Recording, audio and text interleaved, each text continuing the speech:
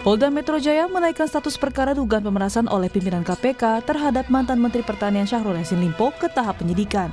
Keputusan menaikkan status perkara ini diambil setelah polisi melakukan gelar perkara pada 6 Oktober lalu.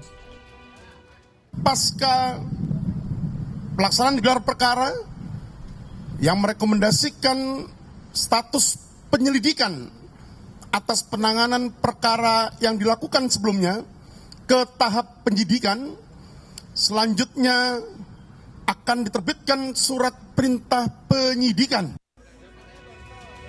Kapolri Jenderal Listio Sigit Prabowo menyatakan telah meminta tim Mabes Polri untuk turun tangan agar penanganannya lebih cermat. Kapolri juga mempersilahkan lembaga lain ikut mengawasi proses penyidikan agar tercipta rasa keadilan apakah kasus ini layak diteruskan atau tidak. Penanganannya harus cermat, harus hati-hati. Oleh karena itu saya minta tim dari Mabes untuk ikut turun mengasistensi sehingga di dalam proses penanganannya menjadi cermat karena kita tidak ingin uh, Polri tidak profesional. Silahkan kalau ada lembaga yang ikut mengawasi. Sementara mantan mentan Syahrul Yassin Limpo usai perjalanan dinasnya ke luar negeri akhirnya memenuhi panggilan dari Polda Metro Jaya. Syahrul menjalani pemeriksaan di Polda Metro Jaya selama hampir tiga jam. Syahrul menyatakan telah memberikan keterangan terkait dugaan pemeriksaan oleh pimpinan KPK di kasus korupsi Kementan. Dugaan pemerasan oleh pimpinan KPK terhadap Mentan berujung beredar foto-foto Ketua KPK, Firly Bahuri bertemu mantan Menteri Pertanian Syahrul Yassin Limpo di sebuah lapangan bulu tangkis. Ketua KPK Firly membantah dirinya menerima uang 1 miliar dolar dari Syahrul Limpo saat bermain bulu tangkis. Namun foto ini berujung pelaporan Ketua KPK Firly ke Dewan Pengawas KPK.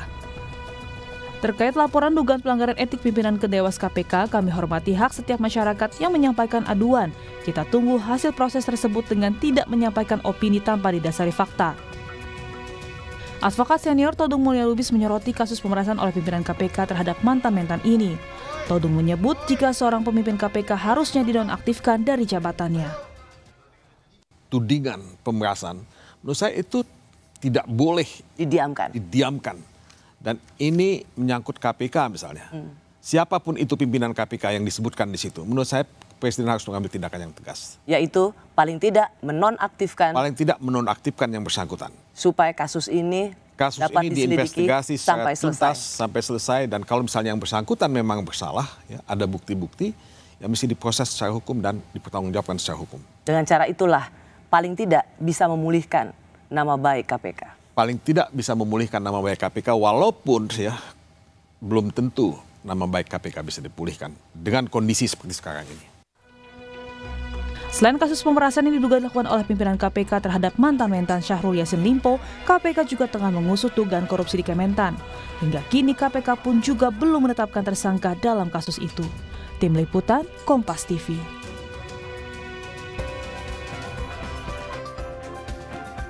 Saudara kasus pemerasan pimpinan KPK terhadap mantan Menteri Pertanian Syahrul Yassin Limpo jadi sorotan akhir-akhir ini. Pasalnya, foto Ketua KPK Firly Bahuri bersama Syahrul beredar luas di media sosial dan membuat asumsi. Lalu benarkah terjadi pemerasan? Dan bagaimana dengan kepercayaan publik terhadap lembaga anti rasuah ini akibat kasus ini? Dan apakah polisi bisa sepenuhnya adil sesuai dengan porsi dalam pengusutan kasus ini? Kami hadirkan perbincangannya dengan sejumlah narasumber. Ada Kepala Baris Krim Polri periode 2009 hingga 2011, Komisaris Jenderal Purnawirawan Ito Sumardi, lalu juga ada pimpinan KPK periode 2015 hingga 2019, Saud Situmorang. Selamat pagi Bapak-Bapak. Selamat pagi. Ya, kami juga nanti akan mencoba menghubungi salah satu mitra kerja KPK yang saat ini masih terus kami hubungi dari Komisi 3 DPR RI. Namun kami akan ke Pak uh, Ito dulu Pak Ito, saya tanpa bermaksud untuk menghadap-hadapkan antara KPK dan Polri begitu ya. Dan uh, kita eh, bersama berdoa agar apa namanya terjadinya hadap-hadapan KPK dan Polri ini tidak juga terjadi dan seperti yang lalu-lalu seperti ada kasus cicak versus buaya begitulah yang paling buruk begitu terjadi. Tapi saya ingin bertanya apakah Pak Ito optimistis polisi ini akan tetap mengusut kasus ini tanpa intervensi dari mana pun? Ya, baik. Terima kasih.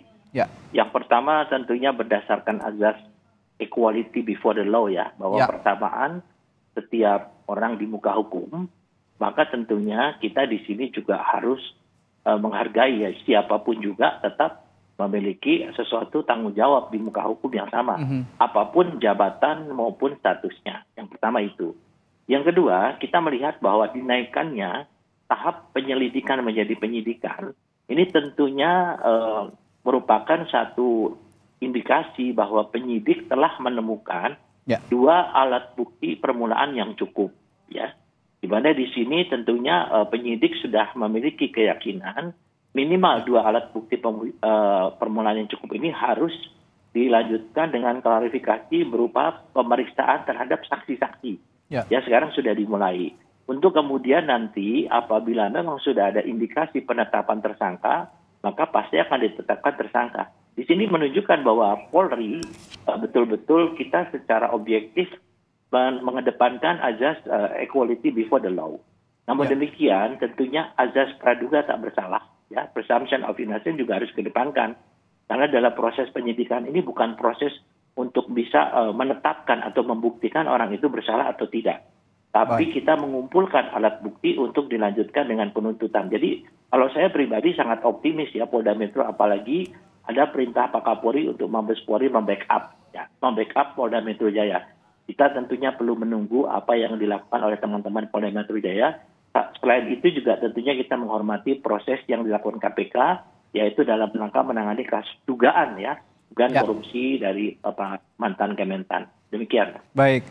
Mengapa saya tanyakan demikian Pak Ito? Karena saya yakin frame kita, frame berpikir kita sudah sama-sama di, di apa namanya disepakati bahwa baik dari Polri maupun KPK sama-sama ingin mengusut kasus ini dengan tuntas dengan tujuan akhir adalah memberantas korupsi begitu ya. Ya.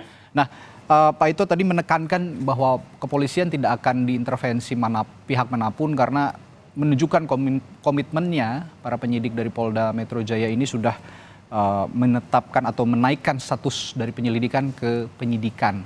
Tapi yang jadi tanda tanya publik juga Pak Firly ini kan dari unsur Polri begitu dan sampai saat ini belum mundur dari eh, jabatannya sebagai ketua KPK. Nah ini eh, bagaimana menurut anda dari kacamata anda supaya kasus ini benar-benar eh, objektif dan Pak Firly juga bisa konsentrasi untuk menjalani proses hukum ini, Pak Ito? Ya, yang pertama adalah tentunya tadi ada ada praduga tak bersalah. Ya. Kalau orang sudah ditetapkan sebagai tersangka sesuai dengan undang-undang, SOP maupun kode etik di KPK, tentunya yang bersangkutan itu harus eh, sementara dinonaktifkan, ya, untuk mempermudah pemeriksaan. Kemudian yang kedua, mengapa saya optimis? Karena kita tahu kasus Sambo, kasus Teddy Minahasa, dan kasus eh, yang menyangkut petinggi Polri lainnya kan ditangani oleh Polri secara objektif, terbuka, dan transparan. Apalagi Ya. Pak Kapolri sudah menjamin bahwa masalah ini harus ditangani secara cermat, ya tentunya Ya. secara cermat dalam tanda kutip bahwa kita harus juga memberikan rasa keadilan ya, Oke. atau due process of law ya, jadi pengadilan yang adil ya, atau proses hukum yang adil. Ini Baik. saya kira nanti Pak Kapolri juga akan me- bisa men- menyediakan bahwa memberi kesempatan lembaga lain ya, ya Hmm. yang ingin ikut masuk untuk mengawasi seperti Komisi 3, Kompolnas. Saya kira mungkin ini adalah satu eh, istikat yang baik daripada Polri untuk betul-betul menangani secara transparan. Ya, Pak Ito, saya juga ada pertanyaan begini. Mungkin ini juga jadi pertanyaan publik. Dalam kasus-kasus pada umumnya begitu yang ditangani Polri, biasanya kan kalau eh, penyidik sudah menaikkan tahap eh, proses dari penyelidikan menjadi penyidikan, itu kan biasanya sudah ada tersangkanya. Dan dalam kasus ini sebenarnya eh, apa dalam suatu kasus tertentu atau dalam kasus ini konteksnya apakah tersangka itu harus ada sebenarnya, Pak Ito?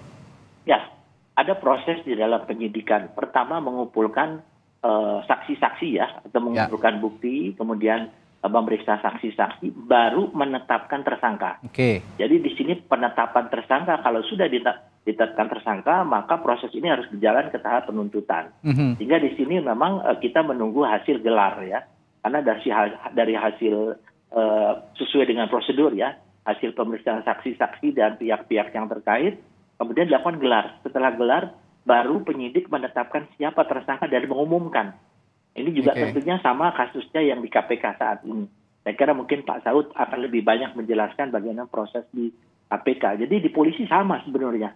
Belum Baik. ada gelar, tentunya belum bisa ditetapkan tersangka. Demikian. Oke, saya ke Pak Saud. Tadi kata Pak Ito, Pak Saud, bahwa unsur-unsur yang tadi sudah disebutkan harus terpenuhi dulu. Nah, menurut kacamata Pak Saud sendiri sebagai eh, eh, pernah duduk sebagai komisioner KPK di periode-periode sebelumnya, bagaimana Pak Saud? Ya, eh, tentunya kalau kita bicara case ini, eh, kita ambil case dulu yang foto ya, karena kita pisahkan dulu yang yang pemerasan ya. Hmm, Nah, itu kan eh, intinya adalah pada awal eh, tahun ya, tahun 2021 mhm. itu ada pengaduan masyarakat. Jadi supaya kita clear dulu nih supaya nggak ke mana-mana. Ya, dirunut dulu begitu ya Pak? Ya, sekuensinya harus jelas. Ya, jadi hmm, tidak disebut. Ini sekali lagi mohon maaf sumber saya sumber terbuka C3 dari sisi intelijen C3 ya. Ya. Tapi yang saya tangkap adalah pengaduan masyarakat itu tahun 2021, oke? Mhm. Tapi tahun eh, Juni dan Oktober 2022 itu ada bertemu. Diduga foto yang kemarin itu Oktober 2022. Ya. Oke, jadi Juni eh, apa ah, kita nggak tahu tahun 2021-nya bulan berapa, tapi Oktober, Juni, Oktober itu ketemu dua kali. Kemudian baru penyelidikannya awal 2023. Oke, Ya. ada tiga tahapan tahun ya penyelidikan ah, pengaduan 2021, bertemu soal foto 2022, kemudian penyelidikan dimulai 2023, 13 Juni 2023 expose, sepakat sidik, ini ini untuk ya, kasusnya Yasin ya, Ya. kasusnya Menteri Pertanian ya. 13 Juni expose, sepakat 3 TSK. Beberapa hari setelah itu eh, penyidik minta pimpinan menandatangani, tapi nggak ditandatangani sampai berapa lama. Sampai kemudian tanggal 25 Agustus 2023 Polda memanggil dua orang, supir dan ajudan. Oke. Nah, 26 eh, Oktober itu kemudian eh, tapi 26 Oktober itu setelah jadi artinya setelah Polda 25 Agustus 2023, 26 September saya ulangi 26 September 2023 si- tanda tangan sidik dimulai. Mhm. Jadi hasil ekspos selidik kemarin itu sidik, sidik itu pasti sudah pastilah Ah, nama sudah jelas di situ ya. Jadi tanggal 23 26 September 2023. Nah sekarang kita lihat di kembali ke atas. Kalau memang ah, Dumas itu masuk pengaduannya pengaduan masyarakat dua, tahun 2021, kemudian terjadi foto kemarin itu Oktober 2022, berarti jelas eh, mens realnya kita patut duga pertemuan foto itu ada kaitan dengan pasal 3 eh, 5 eh, pasal 36 Undang-Undang KPK dengan pasal 65 which is itu pidana 5 tahun. Hmm. Kita pisahkan dulu kasusnya pemerasannya ya. Kita kita bicara kasus foto dulu. Foto Ya. itu kan jelas itu kan nggak boleh. Pasal eh, 35 dan enam- pasal 35 pasal 36 eh, Undang-Undang KPK eh, Jungto 65 itu eh, pasal 65 itu dengan alasan apa pun sekali lagi saya ulangi dengan alasan apa pun pimpinan KPK tidak boleh bertemu dengan yang pihak yang berperkara dan itu pidananya disebutkan dari Undang-Undang KPK 5 tahun. Hmm. Jadi pertanyaan kembali lagi, kalau kita mau bicara eh, case-nya ini terpisah kasus pemerasannya dan eh, dan kasus limpo dan kasus dari eh, yang disebut pelanggaran undang-undang eh, KPK itu ini memang harus dipisah dulu yang mana gitu. Kira-kira gitu, Mas. Ya. Tadi. Oke, ini menarik dan tadi ini mungkin eh, baru diungkapkan di pagi hari ini oleh Pak Saud tadi. Saya baru dengar ada tiga tersangka sudah ditetapkan tapi tidak ditandatangi begitu loh oleh oleh apa namanya pimpinan KPK untuk menangani kasus korupsi di Kementerian Pertanian ini. Nah, lalu saya tadi menanyakan hal yang sama kepada Pak Ito. Sebaiknya bagaimana agar agar kasus ini berjalan bisa bisa seiring berjalan begitu, seiring sejalan dengan kasus korupsinya karena sampai saat ini juga Pak Firly kita ketahui belum mundur dari posisinya untuk fokus me- apa namanya menjalani eh, dugaan pemerasan ini, kasus hukum ini. Ya, karena praktis kan eh, buat pimpinan itu ada dua case ya, case pemerasan dan case eh, yang melanggar undang-undang KPK. Jadi ada dua case yang menyelimuti yang bersangkutan. Kalau Menteri Pertanian satu case yang dia artinya memang eh, dengan dengan tiga dengan dua orang yang lain itu sudah eh, nanti silakan KPK berproses di situ Itu yang saya bilang kemarin di media ini ini bukan soal bergen, ada orang di uh, di kementerian, terus ada orang di KPK, kemudian hmm. bergen. Jadi saya sependapat dengan Pak Ito tadi itu harus hmm. form harus dipisah. Jadi secara umum ada tiga case besar yang harusnya itu di, bisa dilaksanakan simultan. Tapi kalau mau uh, baik dan kemudian uh, tidak menimbulkan uh, apa namanya keraguan di publik, karena ini kan sekarang kita Indonesia bicara trust ya. Yeah. Lalu ini kita bicara kepercayaan. Ya sebaiknya memang uh, Presiden dengan bijak uh, karena dia KPK di bawah pemerintah, dia diminta untuk uh, istirahat dulu. Tapi kemudian nanti kalau tidak terbukti nama baiknya dipulihkan. Kira-kira gitu Mas Adi. Ya. Saya juga yakin publik sangat miris melihatnya melihat kondisi KPK saat ini begitu yang lembaga yang dulu diagung-agungkan yang uh, sangat agung lah bisa dikatakan untuk uh, memberantas kasus korupsi malah pimpinan-pimpinannya terseret kasus-kasus tertentu, apalagi ini kasus pemerasan begitu. Tapi begini Pak Saud, beberapa kali ada laporan dari masyarakat, aduan dari masyarakat ke Dewan Pengawas KPK, tapi kok terkesan mentah begitu. Jadi tidak tidak ditindaklanjuti dengan dengan optimal. Respons Anda soal anggapan ini, Pak Saud? Mas Adit, kalau kamu dewas, kalau kamu dewas nih sekarang, mm -hmm. ada ada lima instrumen alat ukur kamu. Okay. Itu nilai-nilai KPK Oke. Okay. Nilainya itu gampang. Saya selalu ulang-ulang, pasti penonton bosan nih saut ngomongnya itu doang. Nilainya itu adalah yang yeah. bentuknya IS, IS KPK. Oke. Okay. I-nya integrity, S-nya sinergi, mm-hmm. terus K-nya kepemimpinan, terus profesional dan keadilan. Oke. Okay. Sekarang saya tanya Mas Radit, nilai mana yang dilanggar oleh pimpinan KPK ini sekarang? Hmm. Saya ulangi, integrity, sinergi, kepemimpinan, profesional. Ingat kata profesional itu Anda harus sesuai KUHAP dan sesuai dengan undang-undang KPK dan seterusnya baru keadilan dan seterusnya. Sekarang kalau Mas Adi tanya ke saya, nah ini pertanyaan saya kembali lagi, kurang apanya lagi Dewas kok nggak kerja gitu loh. Hmm. Iya nggak? Ya. Udah jelas itu nilai mereka kok. Itu ya. ada penjabarannya loh. Okay, okay. Integritas itu apa dijabarkan, sinergi itu dijabarkan kan gitu. Jadi maksud saya, saya berulang-ulang mengharapkan, uh, saya kita agak skeptik lah kalau kita berharap uh, Dewas ini uh, bekerja karena sudah banyak case ya hmm. sudah banyak case yang sudah jelas itu dia. pidananya juga itu ya. selalu begitu aja gitu Mas Radit. Baik, ya ya memang skeptik tapi mau nggak mau kan sebenarnya dewas ini harus harus ya lembaga dewas itu dibentuk untuk mengawasi dan menindak kalau ada pimpinannya yang bermasalah tapi ya kita lihat perjalanannya nanti lebih baik memang uh, publik juga mengharapkan ada pemisahan pemilahan ya pemilahan penjalan, perjalanan kasus baik dari pemerasan maupun kasus korupsinya biar sama-sama paralel berjalan gitu. Uh, saya kembali ke Pak Ito.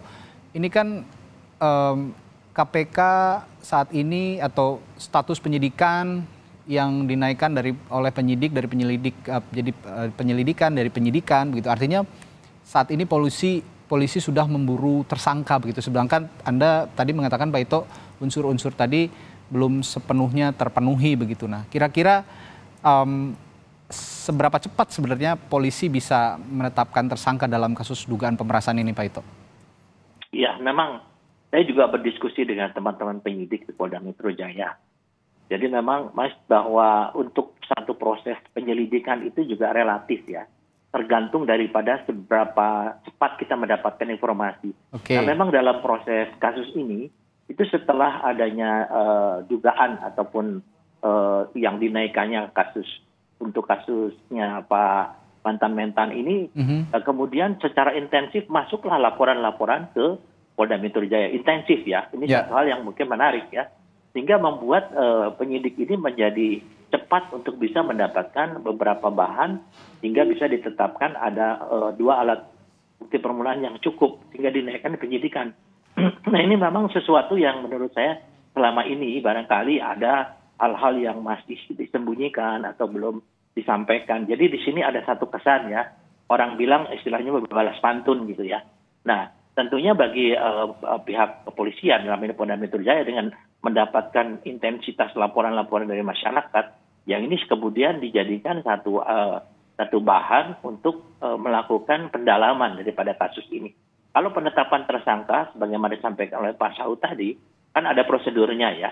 Nah, kalau sudah nanti ditetapkan sebagai tersangka, tentunya mm-hmm. mau tidak mau sesuai dengan kode etik yang bersangkutan harus uh, dinonaktifkan ya. Betul. Kemudian tadi juga ada kasus masalah foto ya. Mm. Foto itu juga kan baru baru ada sekarang sehingga bagi penyidik juga setelah menerima foto itu salah satu uh, alat bukti yang sedang didalami saat ya. ini dengan memanggil pihak-pihak yang terkait ya, yang ada di dalam uh, event itu ya, event itu. Nah inilah yang membuat uh, penyidikan ini seolah-olah terkesan selama ini kenapa lama tiba-tiba muncul. Nah ini karena adanya intensitas laporan-laporan yang masuk ke uh, penyidik ya, sehingga okay. bisa mempunyai keyakinan uh, bahwa kasus ini adalah bisa dinaikkan ke tingkat penyidikan. Demikian. Baik, ngomong-ngomong foto Pak Ito dan juga uh, alat bukti lainnya begitu. Ini sebenarnya redaksi kami menerima lewat WhatsApp grup gitu ya dan mungkin beberapa pihak juga saat ini beredar menerima kronologis peristiwa seperti salah satunya yang diungkap Pak Saud itu tadi juga ya beberapa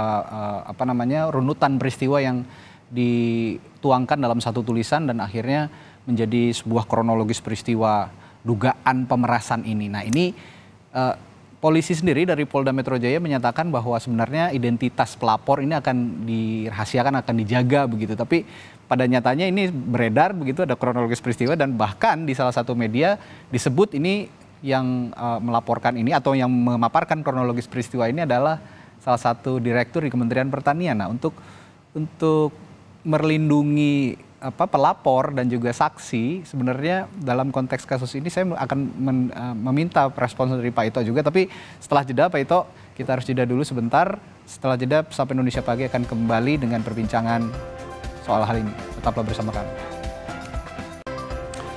Masih bersama kami Kabar Reskrim Polri periode 2009 hingga 2011, Komjen Purnawirawan itu Sumardi dan uh, pimpinan KPK periode 2015 hingga 2019 Saud Sitomorang. Tadi saya sebelum jeda bertanya ke Pak Ito, Pak Ito ini ada ada beredar di WhatsApp grup begitu kronologis peristiwa terkait penyuapan dugaan penyuapan terhadap uh, Ketua KPK Firly Bahuri yang dugaan penyuapan dan juga pemerasan begitu ya. Nah, ini kan pelapornya sendiri kalau di dikatakan oleh penyidik Polda Metro Jaya akan dirahasiakan begitu ya, akan akan kerahasiaannya di, dijamin begitu. Tapi beredar juga nih ke media bahkan salah satu media menyebut bahwa uh, yang membuat kronologis peristiwa ini adalah salah satu uh, direktur di Kementerian Pertanian. Nah, Anda punya pengalaman soal ini Pak uh, Ito? Ya, memang secara normatif itu pelapor itu harus dilindungi itu sesuai ya. dengan undang-undang. Ya. Tetapi pengalaman saya, ada juga pelapor yang menyampaikan di media. Banyaklah kita lihatkan beberapa kasus ya, yang sehingga membuat dia terbuka bahwa dia yang melaporkan.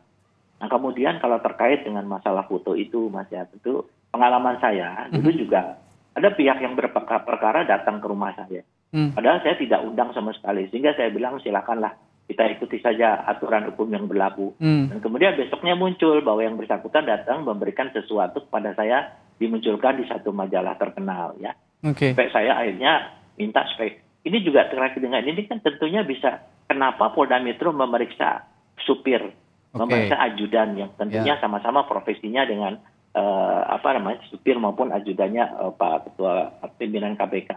Kemudian juga memeriksa pihak lain yang memungkin memungkinkan memfasilitasi adanya pertemuan tersebut. Okay. Tentunya ini sedang didalami dan kita tunggu saja hasilnya daripada penyidik Polda Metro hingga akan ada keterkaitan atau benang merahnya. Apakah memang betul-betul uh, kasus ini bisa dinaikkan ke tingkat uh, penetapan sebagai tersangka atau tidak. Tapi kalau saya lihat Polda Metro Jaya sudah ber, uh, sudah melakukan proses secara profesional ya. Dan saya kira uh, nanti bukti-bukti yang ada tidak terbantah. Oke. Okay. Uh, ini kan tadi Bapak-bapak mengatakan harus juga ada pemilahan gitu ya kasus dugaan uh, apa namanya pemerasan ini dan juga kasus korupsi yang tengah ditangani KPK di Kementerian Pertanian begitu. Nah, saya ke Pak Saud terlebih dahulu. Uh, supaya nggak kabur gitu Pak Saud. Sekarang kan konsentrasinya bahkan uh, kasus korupsi di Kementerian Pertaniannya sendiri sebenarnya agak sedikit tersisihkan dengan kasus dugaan pemerasan yang di, uh, diduga dilakukan oleh pimpinan KPK. Nah, supaya seiring sejalan itu memang sepertinya agak susah tapi upaya apa sebenarnya yang bisa dilakukan untuk uh, bisa tetap uh, kasus ini dipilah tapi sama-sama berjalan seiringan antara KPK dan juga Polri begitu Pak Saud? Ya uh, normatifnya itu ya normatifnya itu kan selalu apa kalau ada kasus pidana biasa dan pidana korupsi dan seterusnya prioritasnya yang korupsi pidana uh, tipikornya.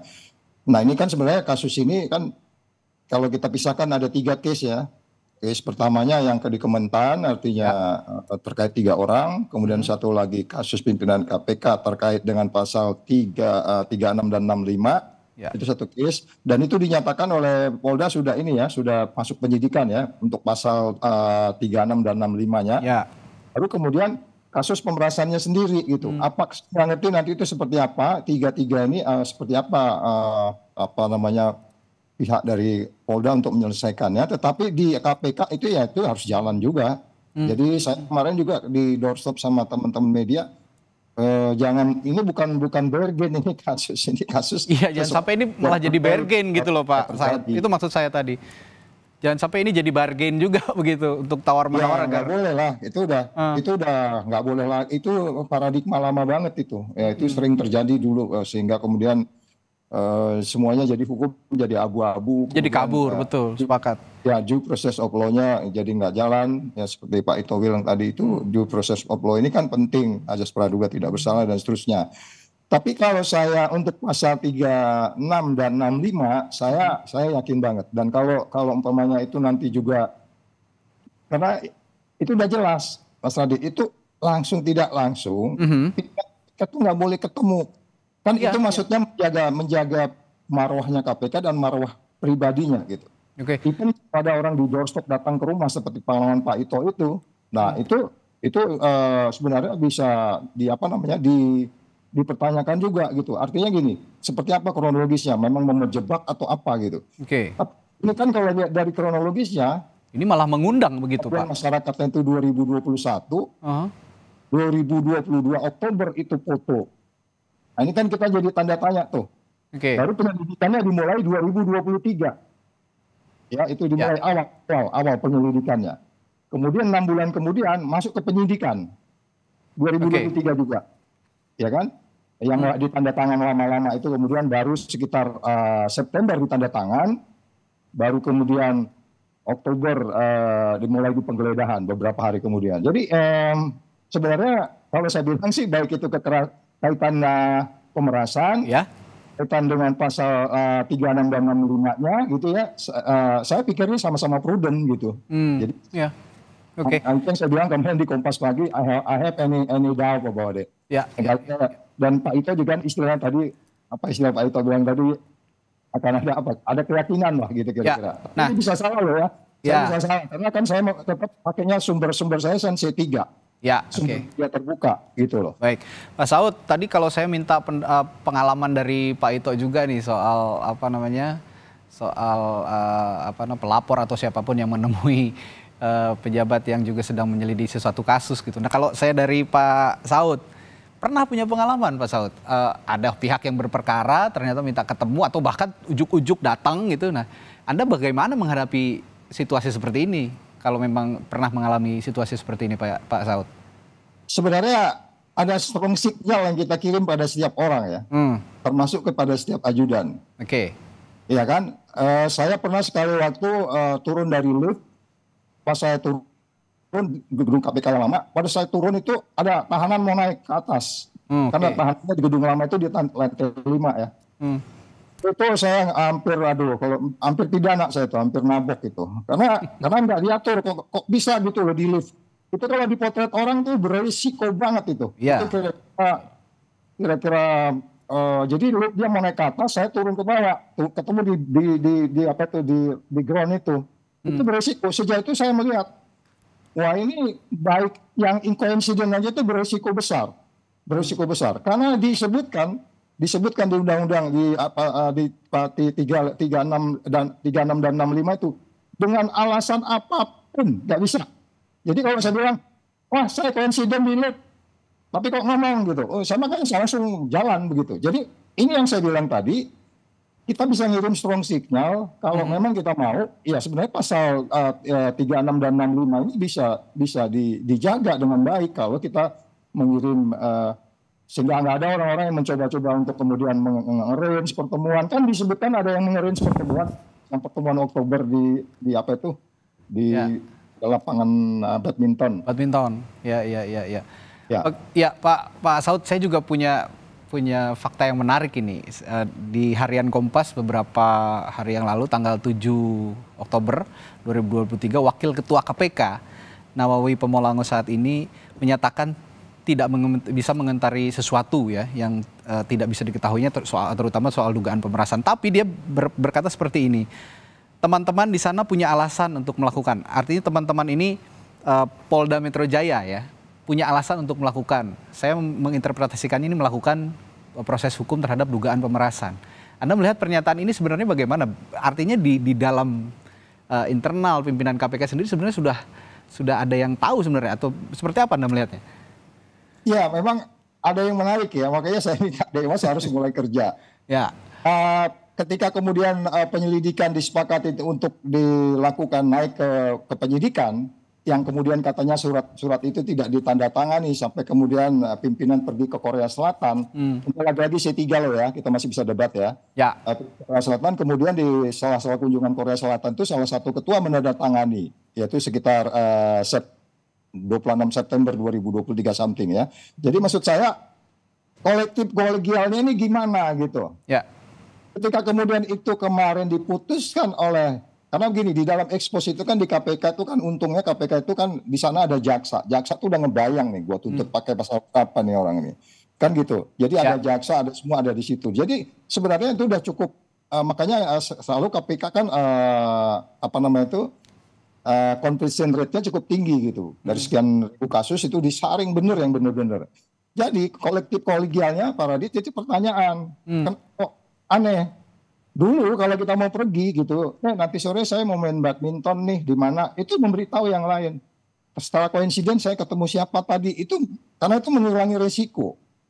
Jadi waktu itu makanya eh, kita melakukan riset di KPK itu ada ribuan risiko, terlebih pimpinan. Risikonya itu ratusan yang memungkinkan. Semua tadi itu Ya. termasuk kemungkinan ketemu di lift atau saya makan di restoran, kemudian orang nyamper foto, pegang pundak saya, apalagi kalau cewek cakep segala macam. Itu semua diatur, foto aja harus begini, nggak boleh tangannya bagaimana. Itu sampai detail-detail itu dibuat. Jadi maksud saya, kalau detail-detail itu diikuti, termasuk detail-detail kolektif kolegial, mereka akan check and balance satu sama lain. Jadi check and balance antar kolektif kolegial kayaknya udah nggak jalan di sana. baik. Ya, ini menarik sekali soal kolektif kolegial juga ya, bahwa eh, pimpinan KPK juga harusnya ya berembuk begitu ya untuk menangani satu kasus, tapi sepertinya kayak jalan sendiri-sendiri begitu, termasuk pimpinan eh, ketua KPK yang sekarang ini seperti kayak main sendiri begitulah ya kalau bisa dibilang. Saya ke Pak eh, Ito lagi, Pak Ito, begini. eh, di KPK itu kan juga banyak eh, unsur kepolisian yang ditugaskan begitu ya di KPK. Nah, dengan adanya kasus seperti ini yang melibatkan pimpinan KPK yang juga ter- eh, faktanya adalah unsur dari kepolisian gitu ya. Ini bagaimana teman-teman Polri yang ada di KPK harusnya bersikap menurut Anda? kita mungkin eh, mengikuti ya bahwa beberapa waktu lalu ada semacam friksi bahkan sudah meningkat ke konflik ya di dalam tubuh KPK. Mhm. Di sana juga kan melibatkan antara sesama ya sesama anggota eh, kepolisian ya. Hmm. Tentunya kalau tadi saya sampaikan bahwa saat ini kita harus bersikap profesional dan proporsional. Oke. Jadi apa yang menjadi eh, ranahnya KPK kita hormati, tentu yang menjadi ranahnya dari kepolisian harus kita tunjukkan profesionalisme kita. Tidak peduli siapa pun juga. Tadi saya sudah sampaikan azas equality before the law. Ya. Siapa pun juga tidak ada. Dan itu sudah dibuktikan dengan penanganan kasus Sambo, penanganan kasus Teddy Minahasa. Itu dua petinggi Polri dan itu the rising stars ya. Yang tentunya Pak Kapolri di situ tidak peduli siapa pun juga harus ditindak. Dan Pak Kapolri sudah menetapkan, menyampaikan di beberapa media bahwa ini akan ditangani secara serius. Bahkan beliau memerintahkan Mabes Polri untuk memberikan pendampingan. Jadi Ya. kita melihat endingnya nanti ya Mas ya bahwa Oke. uh, tentunya Polda Metro juga masalah ini akan berjalan dan di sana juga di KPK juga kalau tidak salah mungkin Pak Saud bisa menjelaskan ada independensi ya. Seorang penyidik juga tidak bisa diintervensi oleh pimpinannya Hmm. penegak eh, Ya. eh, deputinya juga kita lihat kan bahwa friksi yang terjadi pada saat masa lalu itu kan ada semacam ya yang setahu saya itu ada sem- semacam ada intervensi hanya mereka protes nah, sehingga terjadilah eh, apa namanya beberapa kasus yang waktu itu kita ikuti. Saya kira ini menunjukkan bahwa di KPK pun juga mereka ada satu profesionalisme daripada para penyidik meskipun Ya. sesama anggota Polri ya, Hmm. apalagi juga ada dari uh, fungsi lain.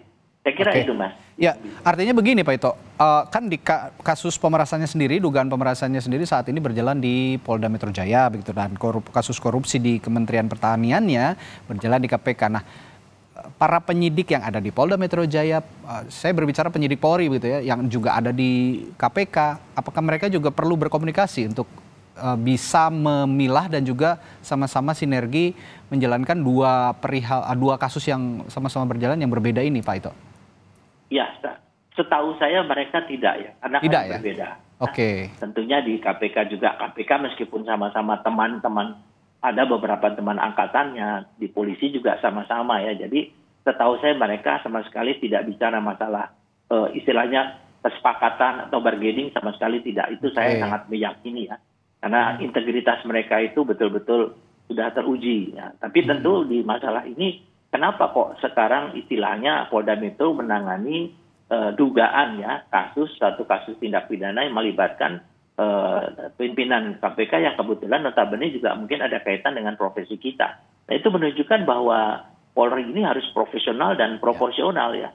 Ya kita tunggu masyarakat kan nonton semua nih mas. Jadi kasus ini eh, sangat menarik perhatian masyarakat. Jadi kita nggak bisa main-main kan. Ya. Saya sangat yakin, sangat yakin bahwa dalam waktu tidak terlalu lama kasus ini akan bergulir menuju ke arah yang yang sebenarnya yaitu proses eh, peradilan ya. Tentunya harus mengedepankan azas keadilan ya, due Ya. process of law dan juga eh, presumption of innocence sebelum diputuskan oleh pengadilan ya. Artinya eh, kalau ada anggapan bahwa kasus ini kemudian nantinya bisa menimbulkan friksi antara KPK dan Polri yang sama-sama kita khawatirkan mengarah ke apa eh, kasus cicak versus buaya zaman dulu itu terlalu jauh ya anggapan itu ya Pak Ito ya. Saya ngalami mas, itu kan hanya masalah komunikasi. ya. Iya makanya hanya masalah komunikasi sebenarnya. Saya, Ya, eh, ya. teman saya dan saya ketemu dengan para penyidik waktu itu, mereka firm ya di KPK Ya. mereka melaksanakan tugas secara profesional dan kita harus hargai. Kita tidak bisa mengintervensi gitu di sana. Hmm. Itu yang saya alami. Ya. Saya yakin sampai sekarang masih demikian. Baik, apa Saud ini pertanyaan klasik tapi perlu ditanyakan oleh saya kepada Anda. Anda sebagai mantan komisioner KPK juga pasti memandang KPK saat ini ya citranya semakin terpuruk begitu ya apalagi dengan adanya dugaan kasus pemerasan yang dilakukan oleh pimpinannya sendiri. Nah, untuk memulihkan citranya KPK saat ini, bagaimana langkah yang harus dilakukan KPK-nya sebagai lembaga ya, bukan hanya pimpinannya saja. Sebagai lembaga KPK harus bagaimana Pak Saud? Ya, mohon maaf nanti kalau orang eh, saya menyampaikan berikut ini pasti banyak yang sebel gitu ya. Karena gini, eh, kalau ada waktu nanti eh, Mas Radit dan siap masyarakat Indonesia coba baca ya daftar isian masalah, dimnya daftar isian masalah ketika Undang-Undang KPK itu dibuat. Oh itu itu banyak sekali perdebatan yang menarik di situ. Karena waktu itu fraksi TNI Polri masih ada di Oke. sana waktu undang-undang dibuat. Itu menarik diskusinya.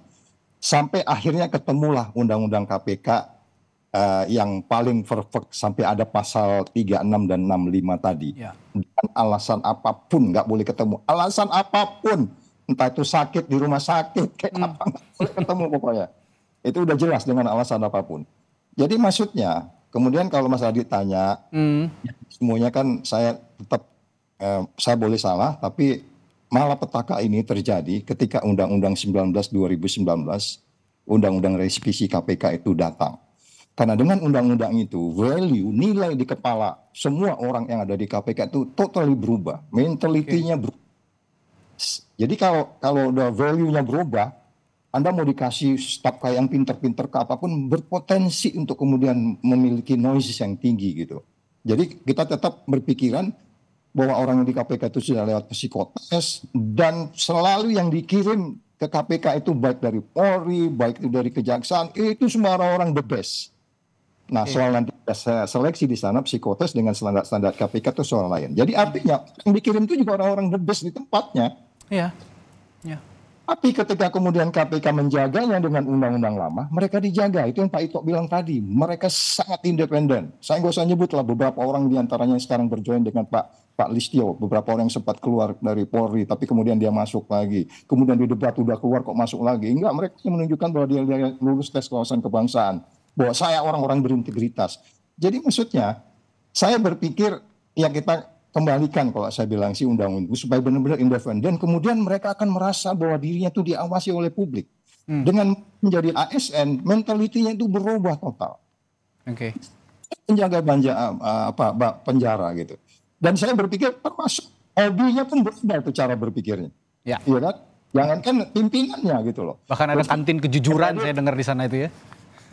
ya, jadi makanya saya bilang sekali lagi ya. solusinya oke okay, undang-undang jelek orangnya kalau dilaksanakan baik-baik sama dengan tadi Dewas tadi itu itu ada Perdewas 0102 isinya ISKPK tadi itu. Oke. Okay. Tapi saya sih nggak bisa memastikan bahwa mereka otomatis bekerja tuh jangan nunggu pengaduan masyarakat. Eh saya dengar kamu ada foto itu nggak boleh itu melanggar gitu. Oke. Okay. Kita lihat cuma slow down paling nggak mereka expose lah. Oh ya kami sudah mempelajari kami sudah koordinasi dengan penyidik Polda bahwa memang sekitar Agustus sudah mulai dipanggil-panggil dan seterusnya. Jadi itu ya. juga bagian daripada pengawas internal yang berbeda dengan pengawas internal ketika dulu. Dulu pengawas internal itu di bawah satu deputi, deputi pengawas internal dan pengaduan masyarakat. Nah, ya. sekarang Dewas ini mereka, saya nggak tahu apa punya tim, punya tim yang mengawasi semua perilaku KPK 24 jam. Dulu kita diawasin. Oke. Okay. Saya kalau ngebutkan contoh berulang-ulang, mungkin penonton pasti bosan. Saud ngomong itu lagi. Jangan pendek. Baik, Pak Saud. Nanti lengan ya. panjang gitu biar tertulis, Pak Radit. Baik, baik. Baik, ya semoga doa kita bersama lah Pak Saud agar KPK ini kembali ke terahnya sebagai lembaga yang atau tempat yang isinya orang-orang berintegritas. Tentu memang eh, tidak bisa di kita generalisir bahwa ada satu pihak yang terlibat uh, dugaan kasus pemerasan atau apa pun, akhirnya lembaganya jadi hancur. Kita harus sama-sama memulihkan itu dengan uh, profesionalisme kerja juga dari Polri agar sama-sama bisa membantu citra KPK bisa pulih kembali. Baik, terima kasih Pak Ito Sumardi, uh, Kabar Eskrim periode 2009-2011, Komjen Purnawirawan Itu Sumardi dan juga Komisioner KPK periode 2015-2019, Pak Saud Sitomorang telah berbagi perspektifnya pagi hari ini. Terima kasih Bapak-Bapak, sehat selalu Pak.